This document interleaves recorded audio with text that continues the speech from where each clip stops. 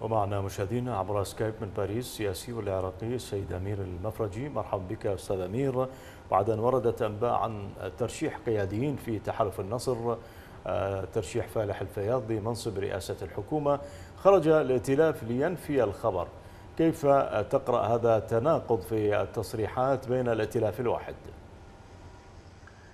مساء الخير. تحيات تحياتي لكم ولمشاهدي قناة الرافدين. وحياك الله.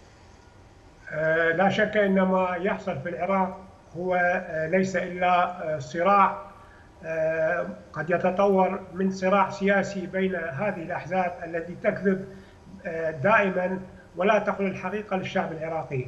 إنما يحدث في العراق هو صراع بين الأحزاب الشيعية نفسها التي جاءت بها إيران إلى العراق منذ 2003 هناك انقسام داخل الأحزاب الشيعية في العراق التي هي كانت لها اليد الطولى في حكم العراقيين والفساد وما جرى آه، آه، على يعني على هذه الشاكلة.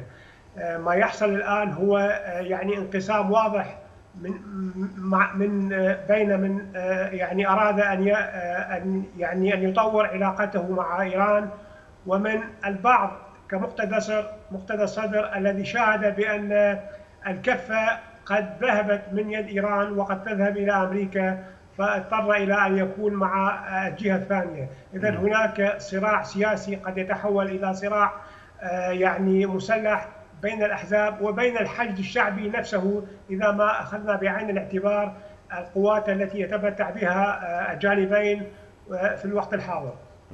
تحالف الفتح أستاذ أمير ذكر أن قرار العبادي إقالة الفياض من منصبه بادرة خطيرة بإدخال الحشد في الصراعات السياسية. ألا تعتقد أن إقالة الفياض تأتي في إطار تصفية الحسابات؟ شيء طبيعي أن ما حدث اليوم آه، أو أمس بالنسبة إلى إقالة آه، الفياض من منصبه كرئيس للحج الشعبي والأمين لمجلس ما يسمى بالأمن القومي العراقي هو دلالة على أن هناك شيئا ما سيحدث لأن آه، ما حدث بالنسبة لهذه الشخصية التي يعني لها التاثير الكبير بالنسبة لإيران في العراق هو أن آه، إيران أرادت أن تكسر آه، يعني الكتلة التي كانت آه، تحت لواء السيد حيدر العبادي. وما حدث اليوم هو كانقلاب يعني داخل الكتل الشيعية نفسها. إذا ما أخذنا بعين الاعتبار يعني نستطيع أن نقول طرد حيدر العبادي للفياض. من آه، هذا المنصب الكبير. اذا هناك آه، يعني آه، تطور في ما يحدث في العراق ما يحدث لتكوين الكتلة الأكبر. وأنا سبق وقلت بأن المشكلة ليست في أيدي هؤلاء وإنما هي تتبع ما يحدث بين العراق ما بين إيران وبين الولايات المتحدة الأمريكية. ولكن هؤلاء يعملون لأن يكونوا في الوقت المناسب للحصول على المناصب لأنها صراعات مناصب وليس صراعات لحكم العراق لأن حكم العراق الآن يعتمد على الصراع الأمريكي الإيراني الذي ما زال يعني يحدث في تحت تحت الخفية. نعم. وهناك مفاوضات بين أمريكا وإيران على مستقبل العراق على ما أعتقد. وبريت ماجورك في آه، العراق في, في هذا السياق قال النائب السابق وائل عبد اللطيف إن معظم الأحزاب بما فيها حزب الدعوة تمتلك ميليشيات مسلحة. هل تعتقد أن سلاح تلك الميليشيا يمكن أن يكون حاضرا وسط هذا الصراع السياسي الذي بدأ يشتد؟ شيء طبيعي شيء طبيعي. هناك أحداث قد حدثت في الآونة الأخيرة على المشهد السياسي العراقي وعلى الأرض العراقية. هناك إعادة يعني وجود لهذه الميليشيات. قد سحب قسم منها من الموصل ومن محافظة صلاح الدين وقد آه، يعني آه، آه، تم وضعها بصورة مؤكدة في مناطق بغداد ومناطق حزام بغداد. إذا هناك نية في أن يتطور هذا الصراع بين الأحزاب الشيعية التي قسمت فيما بينها قسم ذهب إلى أمريكا وقسم ذهب إلى إيران قد يتطور إلى صراع بين الحج الشعبي نفسه وعلى حساب العراقيين وعلى حساب آه، ما حدث للعراقيين من مشاكل منذ 2003 اذا نحن أمام آه، يعني آه، مأزق جديد. قد يتطور على الساحة العراقية ألا وهو صراع.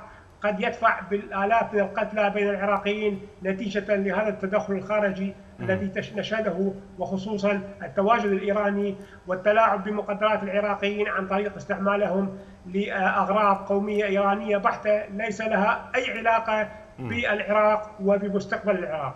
وفي المحصلة أستاذ أمير مع كل هذه الصراعات والتجاذبات ومع السعي الأمريكي لتقليص أي نفوذ إيراني داخل العراق إلى أي مدى تعتقد أنها بداية النهاية لهذه الميليشيات المتصارعة على السلطة في العراق؟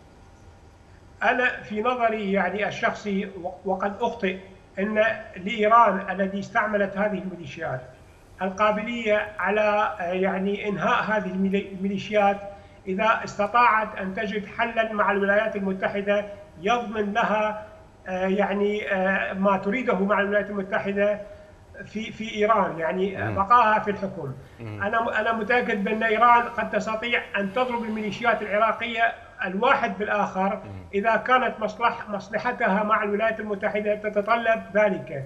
اذا آه، يعني الميليشيات الموجودة في العراق قد تكون نهاية للتواجد الإيراني وبايادي ايرانيه نفسها لانما هي التي جاءت بها وهي التي تستطيع أن تخرجها من العراق بمشاكل فيما بينها وبصاع قد يعني يحرق الأخضر واليابس على الأرض العراقية.